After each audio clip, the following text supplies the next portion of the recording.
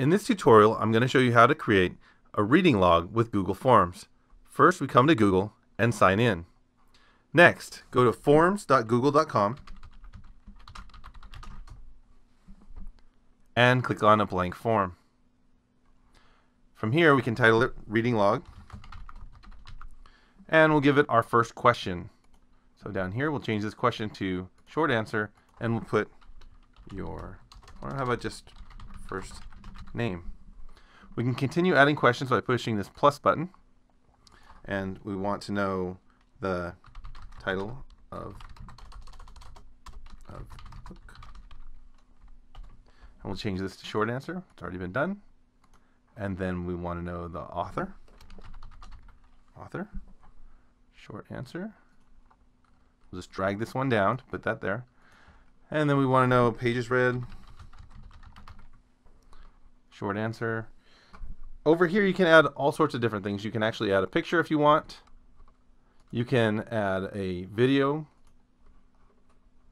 You can add a whole section on something else, like a whole nother page. Um, but for our purposes right now, we're just adding these different um, areas that we need for knowing our um, for our reading log. So first name, title of book, author, pages read. I think that'll do it for now. We'll just make that make it really simple, and we won't make anything required. This one we don't need, so we'll throw it in the trash. Okay, now we'll come over here to responses, and it's accepting responses. And if I click here, I can create a spreadsheet that will accept the responses for this particular um, reading log. We're almost done actually already. Um, we're going to collect email addresses. Came up here to settings to do that. I can. I'm not going to limit it. They don't need to edit it after. They can edit. Doesn't matter. See summary of text, text and responses. No, let's keep that away. Uh, let's go back to settings and see what else we have. Presentation. Um, we can say your response has been recorded.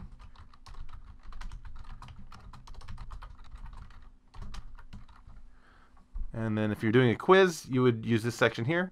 We'll push save. Okay. Now we'll change how it looks. I'm going to go with red. You could use an image here also. That also works nice. I'm going to preview it. And here's a preview of my thing. So email address, and then your answer, whatever it is here, and then you can submit. So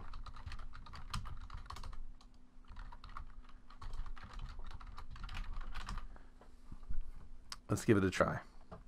Okay, so then in the response, my response has been recorded. Now I'm going to come over here to edit this form. I'm going to see if my response has been recorded. There it is. It's right there already. Okay, I actually like to be able to see my responses in a spreadsheet. So here I'll create create spreadsheet, and I'm just going to do an, a new um, spreadsheet reading. Since I already did this before, I'll just create like a test one reading log three in my case. And now the spreadsheet is being linked, as you can see down here. And if you go to your Google Drive, you'll be able to see that spreadsheet. At the very end, once we're done, spreadsheet linked, we're good. We can send it, and here you'll see you can send this um, reading log to somebody via email. There is a link here. You can just have people, you can shorten it down. You can just have people go to this link and fill out the reading log. You can also embed it in a web page or a Google site. It's pretty useful. And then we also now have a spreadsheet that should have this in there. I'll go to Google Drive.